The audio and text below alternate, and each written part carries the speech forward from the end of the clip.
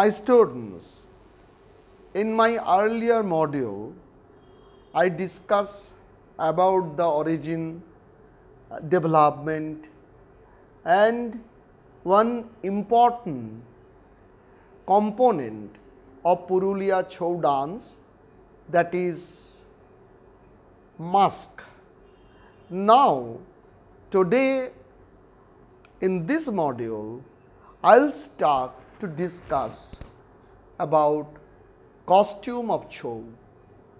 The costume of Chhau which is used today was introduced about a century back from the time when the royal family got associated with it.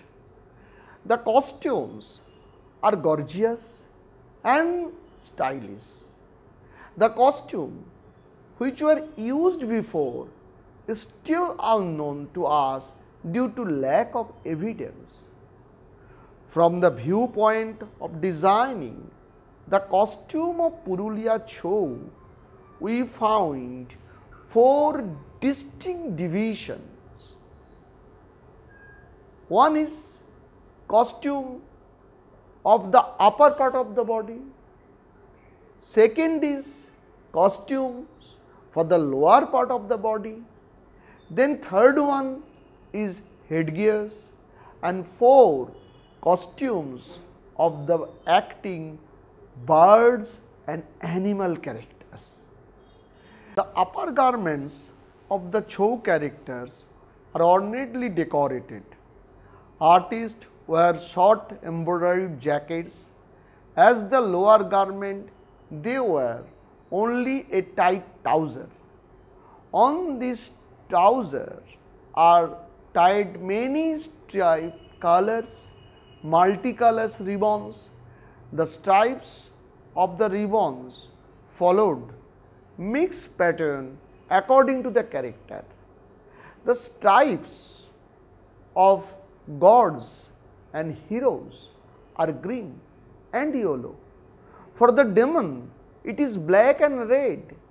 Nowadays, the tight striped trouser seems to be out of trend. In some place, it is being replaced by the dhoti. Dhoti, my students, you know, it is generally in our all over the India, the male are wearing as our traditional dress. That dhoti, but with different colors and the different wearing styles are there. So, the divine character, the divine character like Ganesha and Kartik are used tight trousers and now they also wear a dhoti which is a piece of cloth 5 meters in length. This dhoti is brown, white or yellow in color according to the character they portray. A colorful ribbon hangs from it. A waistband richly decorated with beads is worn over the dhoti. And for the upper part of the body, they wear colorful t-shirt and over it a stitch embroidered jacket is worn.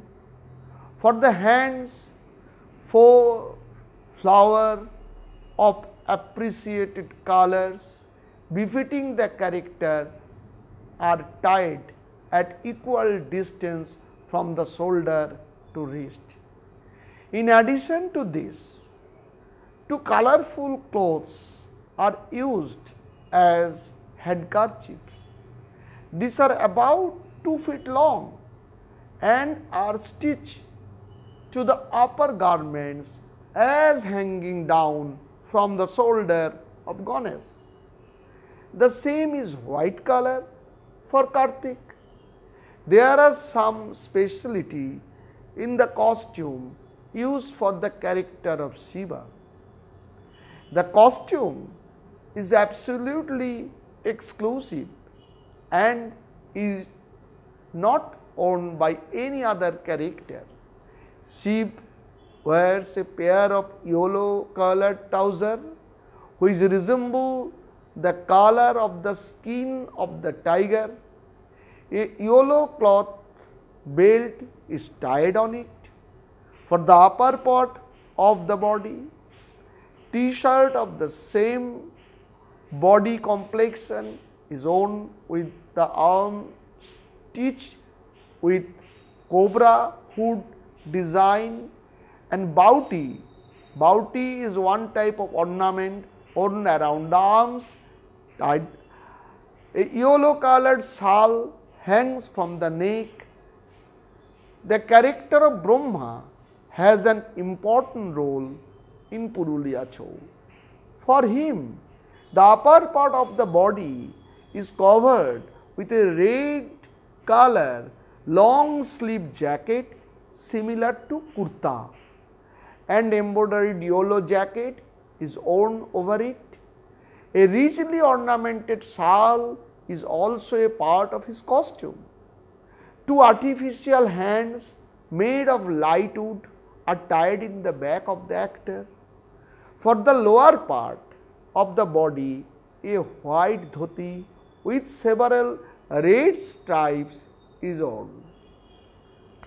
A kamarpati or the wrist belt made by cloth and decorated with beads is also used for the costume of Brahma.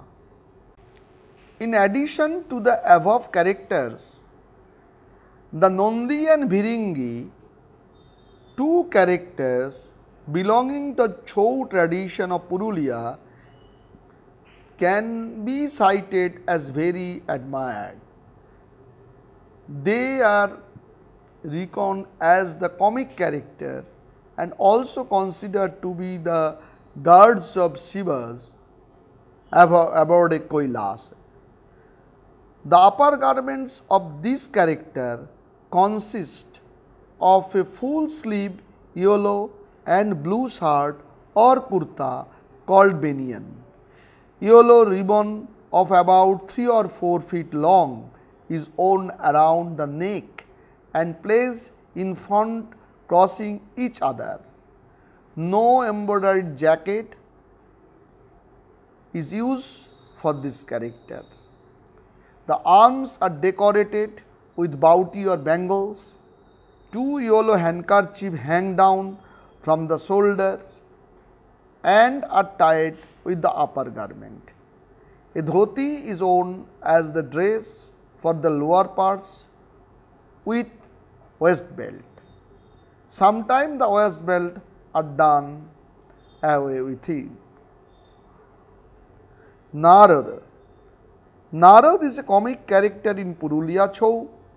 The upper garment for this character is long sleeve saffron colored kurta or shirt and a rosaria worn round the neck. The lower part of the body is covered with a yellow colored dhoti with an orange color belt instead of bauti. They paint their hands and hold two yellow handkerchiefs. Sagas and rishis generally do not use any clothes to cover the upper part of the body. Whenever needed, they cover the body with a shawl. They use dhoti as the lower garment which is white or sometimes saffron in color. The female deities generally wear a sari similar to that owned by Bengali women. For the character of goddess Kali, a pair of striped trousers made of black cloth is used. Goddess Durga wears a red sari and a full sleeve jacket called blouse which is richly adorned with golden thread. A golden colored ornated belt is worn round the waist. Sometimes a sleeveless jacket ornamented with beads is worn over the long sleeve red jacket. For goddess Durga, eight artificial hands made of wood are used. They are fixed to the back of the actress. For the characters of Lokhi and Saraswati, sari and full sleeve blouse or decorated jackets are used. The only difference being the basic color used in sari and jacket. The demon character like Jokso and Rakshasa are very popular character of Purulia Chhau performance. Mahishasura or buffalo demon is a character taken to be a very powerful one. In the episode Mahishasur he dances with the goddess Durga. This item is included in the repertory of every Purulia Chhau dance company. The upper garment of, for this character consists of an embroidered jacket called bokta and colorful shawl named Pithi Chada. Two white handkerchiefs about 2 feet long are attached in front of the jacket and hung.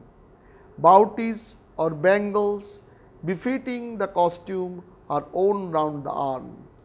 For the lower part, yellow or white color dhoti with a waistband is used. Mahishasur is a solo character, but sometimes this character comes in a group in which case they wear costume of different colors. For the character Raktasur, the artist uses a white shirt with white embroidered jacket worn over it as the upper garment. The back is covered by a beautiful shawl and a dhoti provides the dress for the lower part. A colorful waistband is worn and a few bautis or bangles are used in the arm which is colorful. Chhau artists also play the roles of animals and birds. They cover themselves with a cloth having a colorful color close to the color of the animal. They use artificial limbs to act as animal and bird. For acting in the role of the animals like the elephant, tiger, lion, bull and bear, often two artists are used. One artist keeps standing while the other one who is the behind him stoops forward and holds on to his waist to bring out the basic form of the animal. In some sequence, solo actor manage the role like when goddess Durga appears, she comes with her lion as her vehicle. Her, here the mask of lion is used and only one artist enact lion very skillfully. Students, now I like to discuss you about the technique of Chhau dance of Purulia. The basic posture of Chhau dance is a half seated position with knees widely open at right angle to the spine. The upper portion of body should be vertical. The whole attitude reflects a pure Tandava or masculine style. Artists exhibit movements according to the character the actor is enacting. The movements are also chosen according to the mood of the performance. The Chhau performance of Purulia are very much dependent on the goti or gaits of the character on the stage. They are generally divided into two categories. One is the straight away imitation of the movements of animal and birds. thereby trying to produce a realistic image. The other one is the stylistic for which has developed with the age old tradition. The stylistic movement are again selected according to the character that is being depicted. Another notable factor is communicating the sentiment or bhava of the character to the spectators. For these movements or goti of divine and demonic characters of Chhau dance has developed. The movement are taken from the behavioral pattern of the character which the performer imitates. These are often movements of animal and bird. Other movements are stylized, ones which have developed from their age old practice of tradition. These movements differ from character to character according to its development in the story. According to the Salvini, one renowned scholar, these are different sorts of gati and locomotion generally used in Purulia Chhau. Work of hero, work or demon, sight way walk, crawling locomotion, work on the knees, heavy locomotion, divine locomotion, reaping locomotion, rocking locomotion, work or pulling locomotion, work of a monkey, work of a tortoise, etc.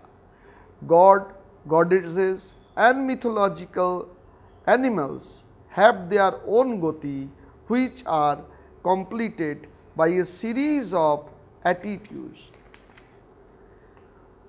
Work of Ganesha, work of Durga, work of Shiva, work of Parasuram, work of animals and work of healthy man also is different kind and different type in Chhau. My students, music is very important and the music of Purulia Chhau has a great contribution in Indian theatrical music scenario. The music of Chhau dance of Purulia is dominated by instrumental music. Only two lines of lyric are sung at the opening of the play. It is mainly the introduction of the play. These lines are repeated a number of times. When drummers start beating the drums, it is an indication to the singer to stop the singing. After that, the instrumentalists continue with their music for the entire episode. In Purulia Chhau, songs are sung in Bengali. The Purulia Chhau musical instruments are played in a very high pitch. Concert often differ from one time to another time. The music party or the orchestra consists of two tribal drums known as dhamsa, two cylindrical drums known as dhol or dholok, one wind instrument known as sanai and the harmonium. These are the minimum requirement for instruments for a Chhau orchestra. But a number of other instruments such as idiophones and sometimes the melody instruments like trumpets are used. The dholok player perform the main role. They conduct and control the music team. At first, before the play begins, they just go around the arena, keeping the audience captivated. Sometimes they keep the spirit of the performance also a high mood by jumping, turning, shouting out loud, whistle at the same time they playing their instrument. Other players sit on the ground and accompany the players on stage. The dhamsa that are beaten with greatest physical exercise during the performance are indeed war drums of the past. These are beaten on by one person if the size is small or else if the size is bigger it is beaten by two person simultaneously with both their hands with two thick wooden stick. The dhamsa is heavy in weight, it cannot be carried on the shoulder. So, it is placed on the ground and beaten. The dhamsa covered by well seasoned animal skin and is also properly tuned. The rhythm instruments dhol is extremely necessary in Chhau dance. It is smaller in size and can be slung from the shoulder. The dhol is played by the fingers of the left hand and by a stick in the right hand. Melodies are played on the sanai, tune is played in harmonium. Purulia Chhau music can be classified as follows. Students, number one is melody. The melodies used are of folk songs are apparently there is a relationship between their words although not sung but and the subject of the particular dance. The phases of each song are repeated over and over with only slight variation. But lyrical beauty of the tune combined with the interplay of rhythm and dance sustain interest. And there is in fact an accumulative effect which is tremendously and powerfully expressive. Then I will discuss the rhythmic structure. The dhol is played constantly during each musical selection. There are two structures in the drum background. The first is solo dhol. Here the players taps out relatively simple pattern which mark the beat and the subdivision of the beat.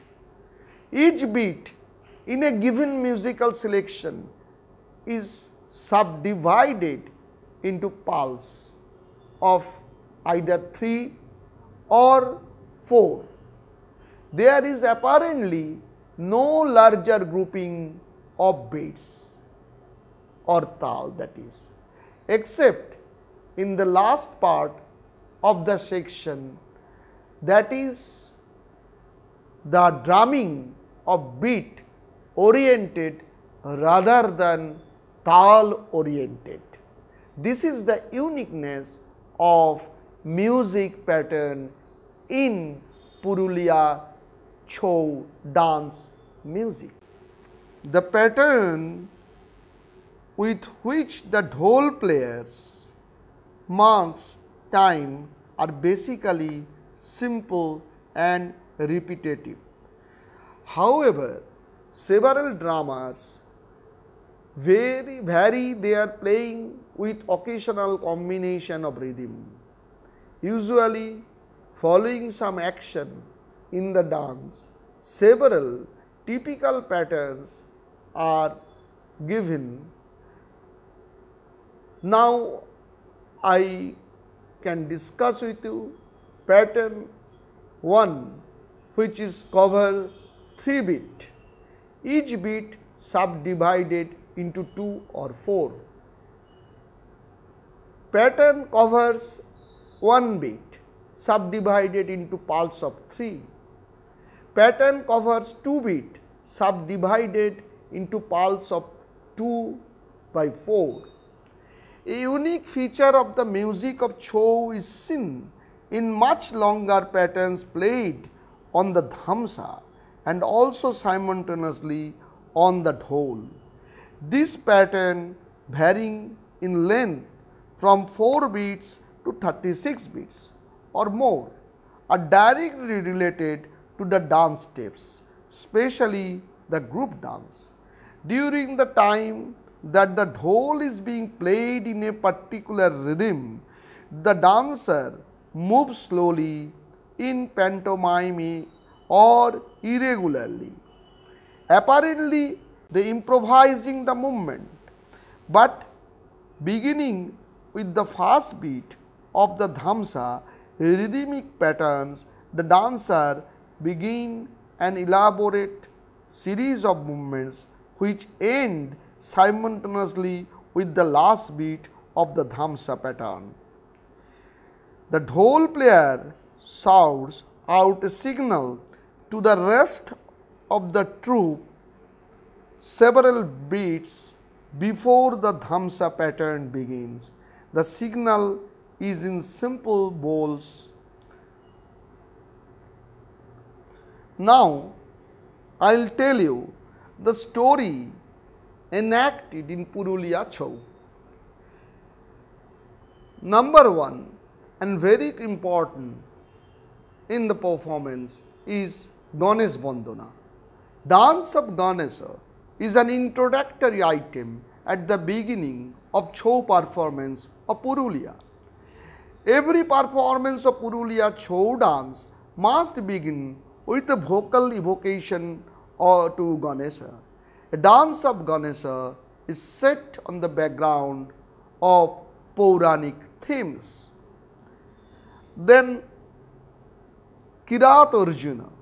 This episode of Mahabharata is most popular in Purulia Chhau dance form.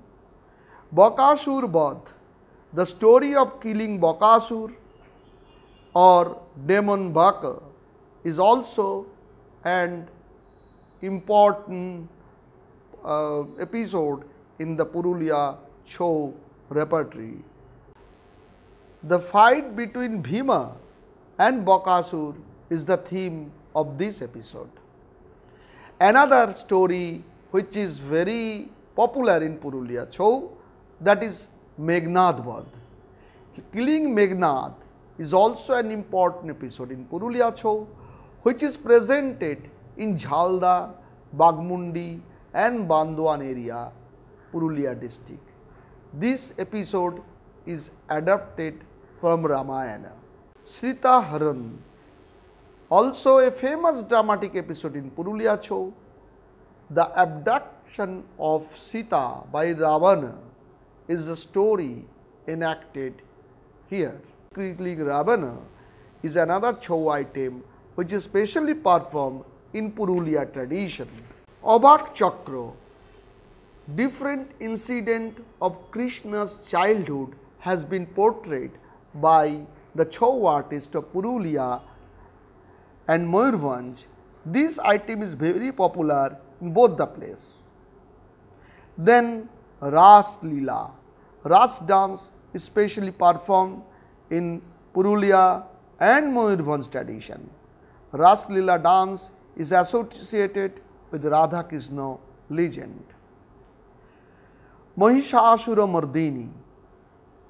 The episode appears to be the most popular among the Purulia and Mayurbhanj Chhau. It has been based on the Markandeya Puran or the legend of goddess Durga.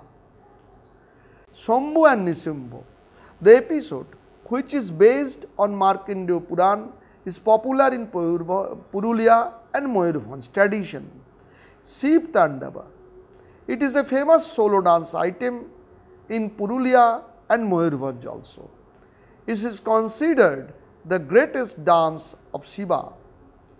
Tarakasur Badh, the story of killing Tarakasur from the legend of Kartikeya of the Kumar Sambhava is famous in Purulia Chhau performance.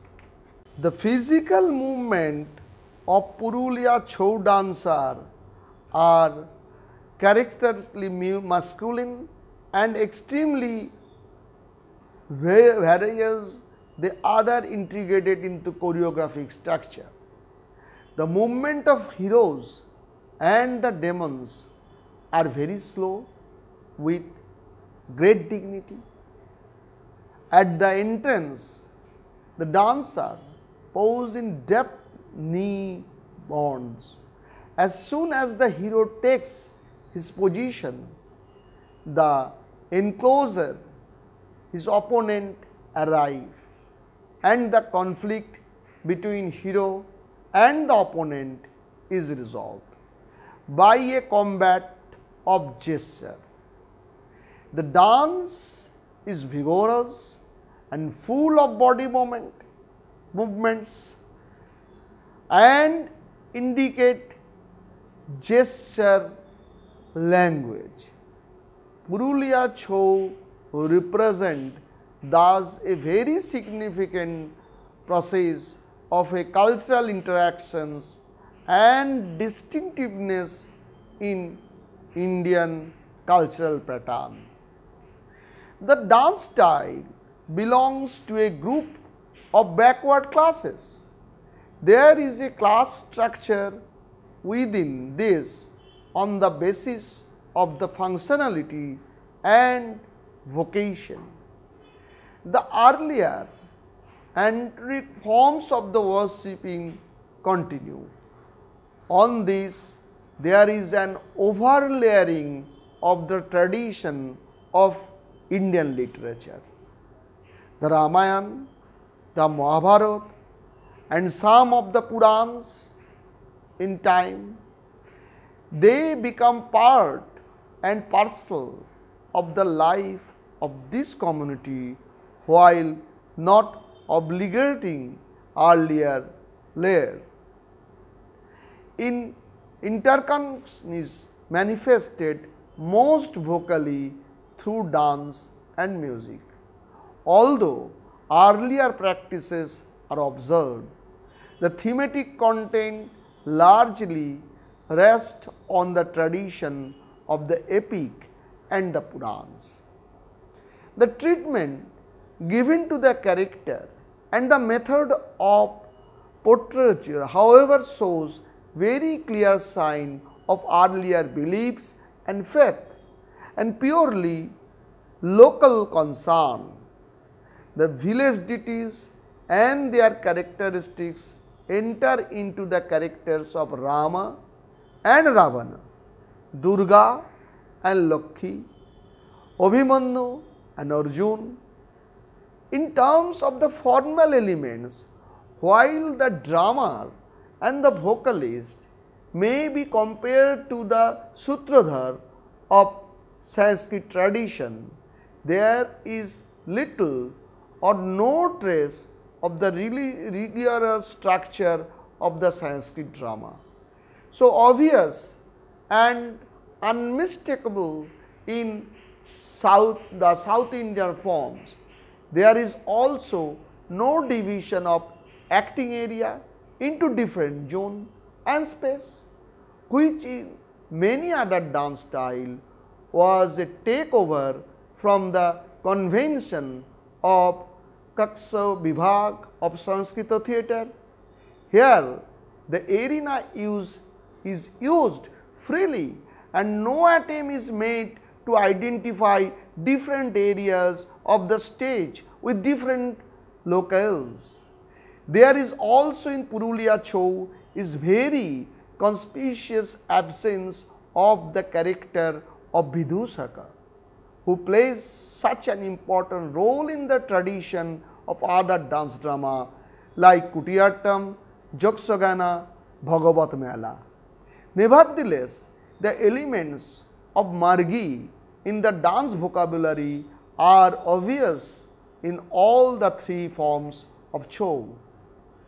Thus, while these forms are certainly Desi on account of their sociological status and lack of poetic word, they are Margi on account of the elaborate ritual. A Puranic content, a still dance vocabulary and stylization in mask is present is the traditional dance heritage of our Indian dance scenario.